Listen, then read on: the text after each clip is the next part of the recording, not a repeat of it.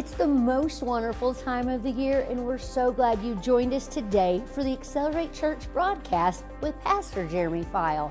Today, he's ministering on the real meaning of Christmas. Wow, we don't want to miss it. Let's jump right into it now. During this time of the year, especially in Christmas time, the enemy attacks, and people many times get depressed during this time of the year but no longer you because once you listen and pay attention to this, I believe this, and you understand the real meaning, which most of you pretty much do, but as we look at these details, it'll come alive. As you understand the real meaning, it'll cause joy to rise up on the inside of you. let me tell you something the enemy is after your joy because that's your strength. The joy of the Lord is my strength. Say it. The joy of the Lord is my strength. That's a fact. That's a scripture in Nehemiah. let me just tell you this if the enemy can steal your joy, he can steal your strength. So, why do you think he manipulates circumstances, situations, uses people, and all kinds of different things going on in this culture? Sometimes it's our senators, sometimes it's our congressmen, sometimes it's our president, sometimes it's our news anchors, right? On down the list we could go to try to manipulate things, and guess what? We're not going to be moved. We're going to stick to the truth. Say amen if you believe that. Luke chapter 2, verse 14, we're looking at the real meaning of Christmas. It says that the whole heavenly host said, Glory to God in the highest, and on earth, peace. Everybody say peace. peace. Yeah, peace and goodwill toward men. The king showed up, and that's why we celebrate Christmas. He was born and put in a manger. Yeah as the Lamb of God should be. Isn't that something? Coming in such humble beginnings, yet he is the King of kings and the Lord of lords. And let me tell you, heaven marked this moment. We should mark this moment and we should celebrate. Don't fall for the lies of the enemy that you shouldn't celebrate Christmas. No, you should celebrate it and let your light shine brighter than ever before. You don't know who's out there hurting. You don't know who needs to hear from you. Uh, my wife and I today, we we got to sneak away for about an hour of time. And it's about all we could whittle away in our schedule. And we got to do a little Christmas shopping. And wouldn't you know it, God had us cross paths with someone who said, I just feel like I need to talk to y'all and tell you my story. And she did. And she said, You know what? Uh, what are y'all, ministers? We said, Yeah, we are. She said, I'm going to come to your church. Praise God. I said, Well, come on. I told and I said, you know, this is what happens when you pray in the Holy Ghost every day, and you pray for divine appointments, and you better get ready for God to use you. Now, hold up. If you're burdened down with all kinds of burdens of life, all kinds of offenses, you're barely making it through, let me just tell you this you're not going to be shining a light very bright out there. But see, this is why you've got to stay in fellowship with God every day because He wants to use you to bring Him glory. All of heaven came and said, Hey, glory to God in the highest. And on earth, peace, goodwill, showing us God has turned his goodwill toward all mankind. Glory to God. Well, I'll just cut to the chase. I don't have time to connect all these dots tonight. I've just got to hitch my wagon where we left off Sunday, you know what I mean? And I'll just tell you, covenant is what the Christmas season is really all about. The fact that Jesus was born as a lamb shows you that God was covenant minded in this. And he found a man way back in the Old Testament, Abraham, that was willing to give his son for the Lord Jesus Christ. And I want to tell you this God said, When I found a man, now I'm willing to give it all for you and me. Thank God. Father Abraham, the father of faith. Amen. So God cut a covenant with him. We're going to talk more about that tonight because uh, hopefully, as we go in this, you'll see, ah, I see it. This is why we celebrate Christmas. Go to Ephesians 2 and say, Thank God for the word. Ephesians 2:11 says, Therefore, remember that you once Gentiles in the flesh who are called uncircumcision by what is called circumcision, made in the flesh by hands, that at that time, verse 12 says, you were without Christ. Say, without Christ. Without Christ. Yeah being aliens from the commonwealth of Israel. And look at this part strangers from the covenants of promise. Isn't that something? It then says, having no hope and without God in this world. So, I wanted to bring this back up so that you understand and you can connect with where we're going in this series. No covenant equals no hope. However, when you know about your covenant, then it produces hope. Covenant always produces hope. So no matter how dark maybe the situation is, let me tell you, when you have a covenant with God, you can know, hey, I don't know what the doctor's saying right now, but I know what my covenant says. I don't know how, I don't know why things are looking the way they're looking right now, but I know what my covenant says. Come on, somebody. I'm thinking about Tim Elliott right now. When the doctor told him, well, if your wife has this baby, then either the baby or her's going to die. You, you choose. He said, no, I know my covenant. I know my covenant. Just imagine, Tim, what that had been like that night if you had not known your covenant. Oh, all, I mean, it would have been a whirlwind, wouldn't it? But see, when you know your covenant, mm, man, you, it just makes you immovable. It causes you to be established. I know we're living in the end times. I know the enemy's coming for you, he's coming for me, and he wants to uproot us and get us where we're not established like we're supposed to be. And I'm here to tell you, you've got to stay established. This is why we celebrate Christmas. It's the real meaning of Christmas to stay in covenant with God. You got to stay rooted, you got to stay grounded in covenant with God. This is warfare. Yeah, it is. It's warfare. If you haven't noticed, how many of you notice, uh, yeah, the warfare comes to staying rooted? Be honest. Be honest in here. I'm not even looking I don't have to look at you. I'm just, be honest before God. This is warfare. It is warfare. And we better become really good at being able to recognize demonic influence. Because there's always a temptation to move away from what and where God calls you, especially when a demon's involved, the pressure's going to be amped up. Now, I want you to remember, according to Colossians 1, we've been reconciled with God. Isn't that good news? And this is where we left off Sunday. Look at Colossians 1:23. We've been reconciled with God if a lot of people love to just focus on the reconciled part, but not the if part, because the if part turns it to you and to me. If indeed you continue in the faith, grounded and steadfast, and are not moved away from the hope of the gospel. What is the hope of the gospel? The good news is that now the door of heaven is open.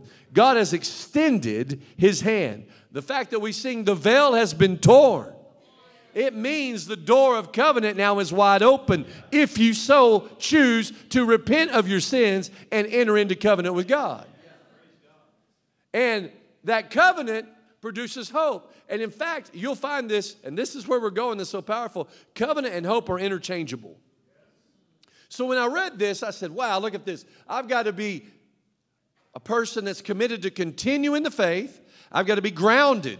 I like that. I've got to be steadfast, and I've got to not be moved away from my covenant. Mm. Which I've heard, which was preached to every creature under heaven, which I, Paul, have become a minister. What is it? I want you to ask yourself this, don't answer out loud. What is it that's trying to get you to move away from covenant with God? What is it? Yeah, think about it. Is it friends? It could be friends. Yeah. Some people, I talk about that all the time. James 4 4 says, Friendship with the world makes you hostile, an enemy of God. 1 John 2 says, You cannot love the things of this world and the love of God be in you at the same time. Well, that's challenging, isn't it?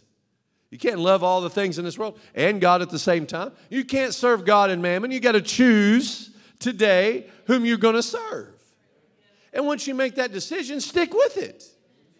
And don't let any demon in hell, don't let any pressure in life move you from what God told you to do. Amen. What about this? Here's a big one. Can words from humans move you?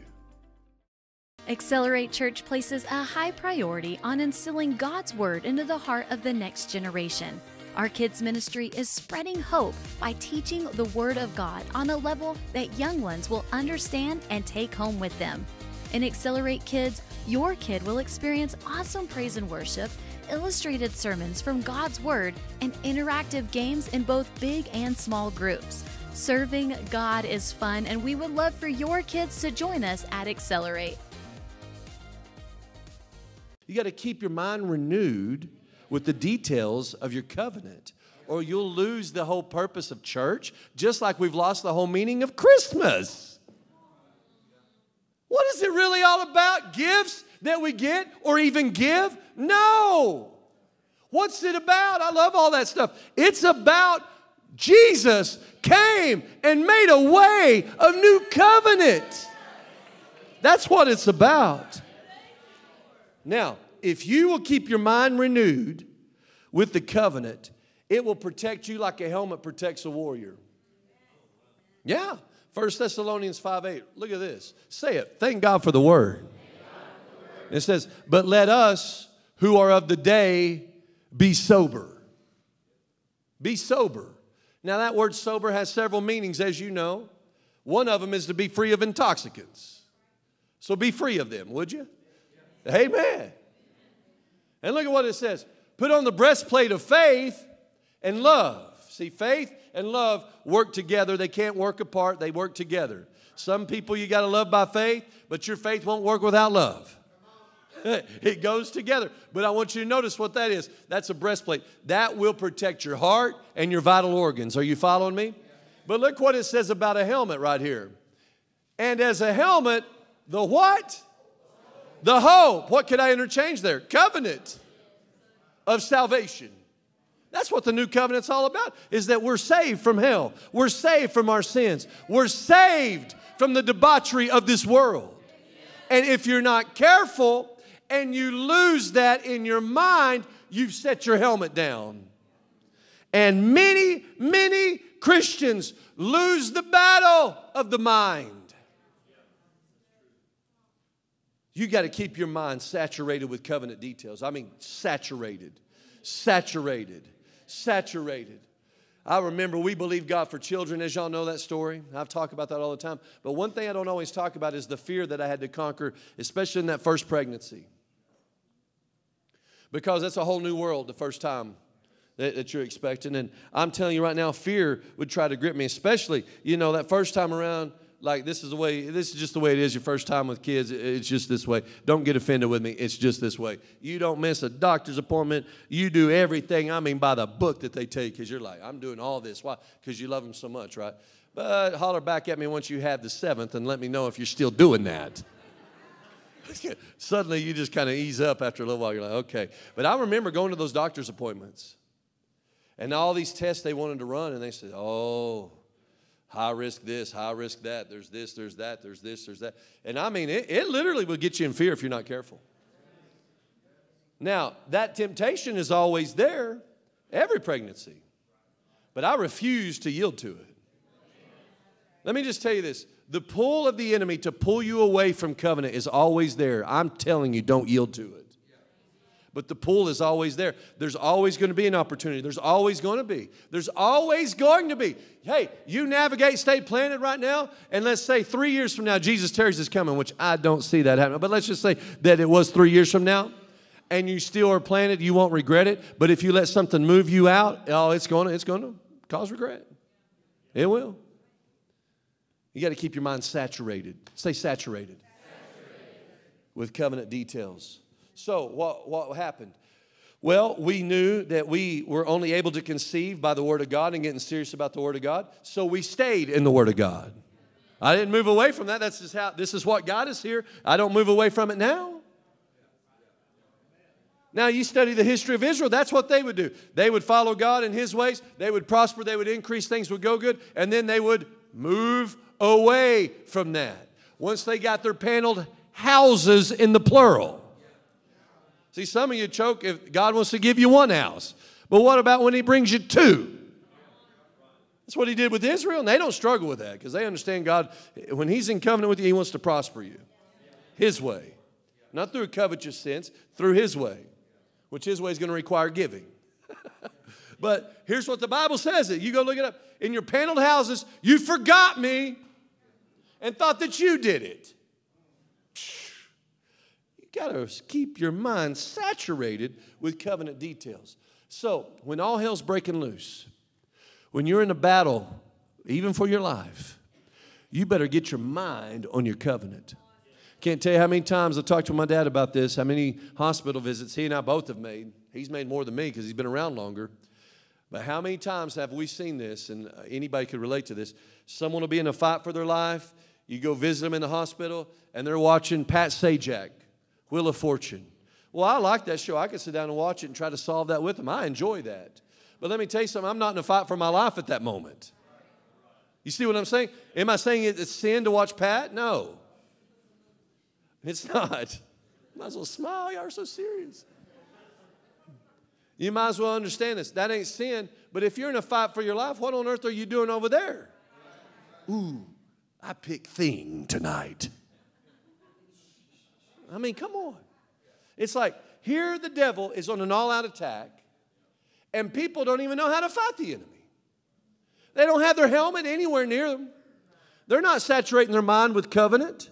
Let me just tell you if you're in a fight for your life physically, you better saturate your mind with the covenant details of healing. Amen. Say amen to that. Yeah, this reminds me of the story Dr. Barclay tells. You know, he was, a, y'all know that, Marine leader. And one of the things he did at one point in his life, and I had him tell me the story the other day because I, I had this on my mind. I said, Tell me that story again. And what happened is the military called him and they wanted to assess why in one area they kept losing battle after battle. So he said, I flew in in that chopper and he said, I'll never forget it. The chopper didn't even have to land, I already knew the problem.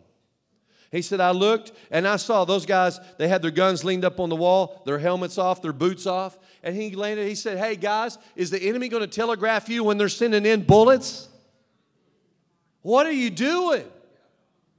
And I'm here to tell you tonight, as your pastor, I love you with all my heart, but my goodness, what are you doing listening to all kinds of stuff out here instead of saturating your mind with the hope of salvation and the fact that you have a covenant where God's promised you no evil shall befall you. No evil can touch your life when you keep yourself away from sin. This isn't the time to get in fear. This isn't the time to debate and think about defecting. This is a time to saturate your mind with covenant details.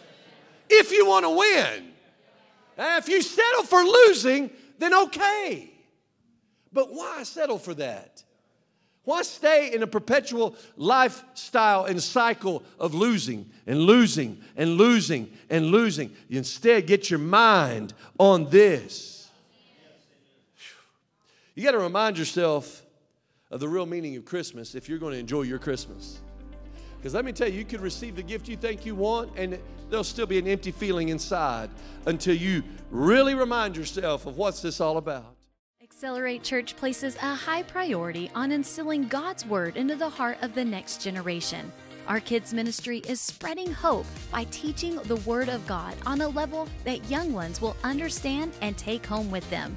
In Accelerate Kids, your kid will experience awesome praise and worship, illustrated sermons from God's Word, and interactive games in both big and small groups. Serving God is fun, and we would love for your kids to join us at Accelerate. The whole reason that you're even supposed to come to church and serve and follow a pastor is because it's God and His name, Jesus, that called you into His body. He's the head. He's seated in heaven. We're the body. We're here on earth. We're doing the work. He's waiting to kick his feet up and his enemies be, made his footstool. That's the work you and I are doing together. God does nothing apart from the local church. Nothing. It's amazing to me. And this isn't new to most of you. You're, again, in a remnant church here. But the temptation to fall away is going to have to do with this right here. It says, In that you've ministered to the saints, and you do minister. And verse 11, we desire that each one of you show the same diligence to the full assurance of what? Where do you get that hope? All the way to when? Well, I don't feel it anymore, so I'm, I'm done with it. No, you use the same diligence to the full assurance of hope or covenant all the way to the end. To the end. Say it, to the end. You don't give up halfway through. You go to the end. That you do not become sluggish. Notice this. This is the whole thing, guys, the kid and caboodle right here. You can become lazy. But it says, don't do that. Instead, imitate those who, through faith and patience, the power twins, faith and consistently, constantly the same. Those are the ones that inherit the promises. Now, everybody wants the promises, but they don't necessarily want to demonstrate faith and patience. But that's what's required consistency, constantly staying the same. Anybody feeding on this tonight? Verse 13, for when God made a promise to Abraham, all of a sudden he brings up Abraham here. Because he could swear by no one greater, he swore by himself, saying, Blessing, I will bless you. Multiplying, I will multiply you. Let me just tell you, anytime you're walking in covenant, you're going to walk in the blessing and you're going to see multiplication happen in your life. Let me tell you what I'm praying. Are you ready for this? Better buckle your seatbelts. Divine subtraction, then divine addition, so that the teacher can teach us how to multiply. You can't multiply till you learn subtraction, addition, then you get to multiplication. We're right in the middle of the process as a church. Which side are you on? It'll all be determined in time. Verse number 15. And so, after he had patiently quit, that's an oxymoron. If he's believing God at 75 for a kid, but he gives up at 85, he doesn't have a kid at 100. Pretty simple, isn't it? after he had patiently, consistently, constantly stagger not at the promise of God, uh, Romans 4 says. After he had patiently endured, he obtained the promise. He obtained, what a, what a blessing. So the word literally tells us just a few verses before imitate those who through faith and patience inherit the promise. Oh, yeah, Abraham did that giving us a great example to follow. Now, I want you to look at this. This is worth you hearing. I was going to preach this Sunday, and I'm just now getting to it at the very tail end here on Wednesday night. It says, For men indeed swear by the greater, and an oath for confirmation is for them an end of all dispute. You know what that means? We look at contracts. And when you sign, I sign. We do that for homes, we do that for cars, we do that for all kinds of business deals, jobs, etc. Right? That, your boss, you show up at 8 a.m., you work until 5 p.m. I pay you this much. Right? Employee agreement. See, we have different, different things that we call this. But ultimately, what this verse is telling us is that this puts an end to all dispute, all fighting. Oh, is God really going to do what He said He's going to do? Sure, don't look like it. God said, I'm putting an end to all that. but thus God, verse 17, oh, look at this. Determining to show more abundantly to the heirs of the promise the immutability. Immutability. Yeah, I stumbled on it. Immutability. Why did I stumble on it? Because that's what most Christians do. As they say, yeah, God's going to, he's not, he's not going to come through. I know that he says, husbands, love your wife as Christ loves the church, but he didn't know the witch that I married. You married her. I, you know, did you ask God? See, see where the rubber meets the road, how all of a sudden it all changes? Well, God didn't really mean that. So, see, you're not considering the fact that God is not going to change. When He gives His counsel to husbands, that counsel always stays the same, husbands. Woo! There's going to be times you don't feel it. You can sit up in here and look any way you want to look at me, but I'm just going to tell you. You ain't always going to feel it, but you got to, you're under command from the one who died for you to love your wife as Christ loves the church. And before you go quote the submission verse, the whole point of the submission is because you're supposed to lead the way. So if you're not leading the way, then don't say, well, she's got to submit. I mean, we've heard that a lot more than we've heard husbands love. Submit, woman. Love, man. There's a demand on both parties involved. Isn't that amazing? But people don't even consider the immutability of his counsel. Mm. Wow. He was determined to show it, though. So he confirmed it by an oath that by two immutable things in which it is impossible for God to lie. Oh, get this in you. Once you see it in your covenant, you got to know this God is not changing on his end. Have you changed on your end? I've already seen this happen with marriages, guys. People come down and they, they'll tell me in office, oh, we love each other so much.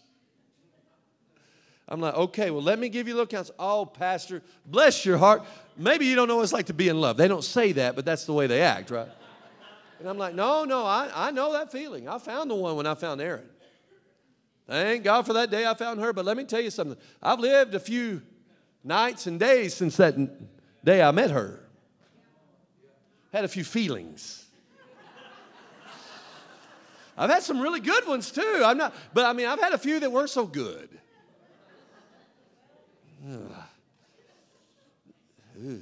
But I made a covenant. See, God gave us marriage. It's the closest thing to God's image. Why do you think that's under attack in our day right now? I'm just going to tell you this God isn't going to change. And He says that we might have, I like this, I got to end this. We might have strong consolation. There's strong consolation only in covenant. I'm going to stop right here and we're going to pick up right here Sunday, but I want to tell you this. Know this that the enemy is always, always, from now on, stop looking at just right now, from now on, going to try to get you to back away from your first love. Always. He's going to try to make it like you don't really have strong consolation. We're going to talk more about what that means Sunday. I have it here, but we'll, I want to talk about this Sunday because I want you to know this. The only strong consolation, the only strength that you truly can find in this life is in covenant with God. Well, that concludes today's broadcast, but it is not the end of Pastor Jeremy's sermon or sermon series on the real meaning of Christmas. You can find all of that online at our website, acceleratechurch.cc. There on the media tab, you'll find all the sermons Pastor Jeremy's preached. And hey, if you're in the local area, just come hear him in person. We're here Sundays at 10 a.m. and Wednesday evenings at 7 p.m., and we'd love to have you.